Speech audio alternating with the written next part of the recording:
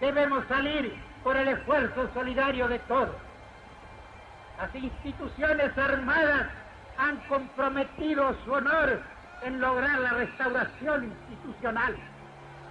Si el ejército advirtiera con cuánta ansiedad el pueblo argentino espera que la tarea sea cumplida para tributarle su aplauso, comprendería que el destino le ha disparado la más alta misión que pudiera realizar en tiempos de paz con la grandeza moral de la República.